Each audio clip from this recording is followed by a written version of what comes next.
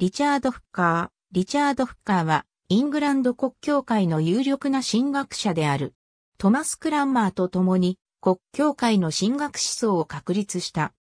法哲学においては、クロテウスの先駆者である。デボン州のエクセターで誕生し、オックスフォード大学コーパス、クリスティカレッジで教育を受け、そこのフェローとなった。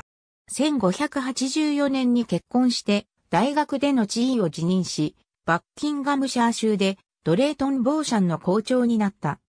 1585年にはロンドンでテンプル教会の牧師に任命されて、すぐに新教徒指導者、ウォルター・トラバーズと衝突したが、それにもかかわらず二人は、個人的には友人関係を続けていた。1592年、フッカーはウィルトシャー州ボスコーム教区にあるソールズベリー大聖堂と教区牧師の間では規範となった。1595年にはケント州ビショップスボーン教区の牧師になった。フッカーの最も有名な仕事は教会政治論である。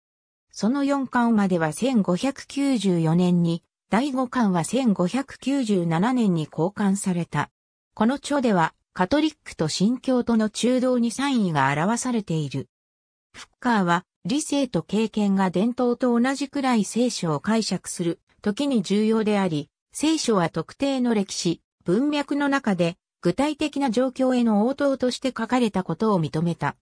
言葉はそれが発せられた場に従って解釈されるべきである。この膨大な著書の主要テーマは政治組織としての教会の管理である。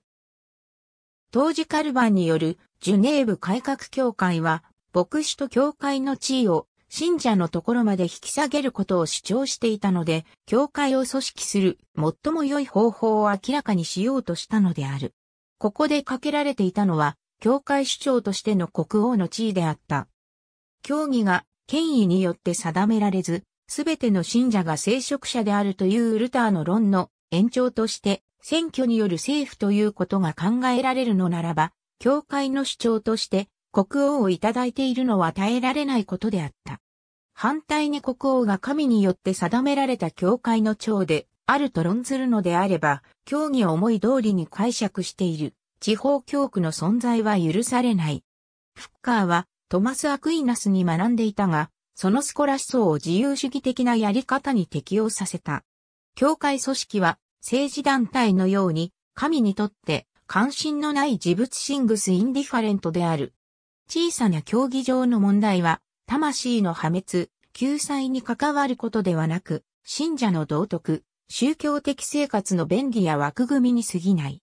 君主国と共和国は、それぞれ良いものと悪いものがあるのであり、そこで重要なのはその国が人々の忠誠を保持することなのだ。